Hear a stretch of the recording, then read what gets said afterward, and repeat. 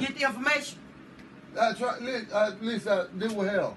When he, he tried to he tried he tried to ease on. I guess didn't nobody he didn't think nobody was in there.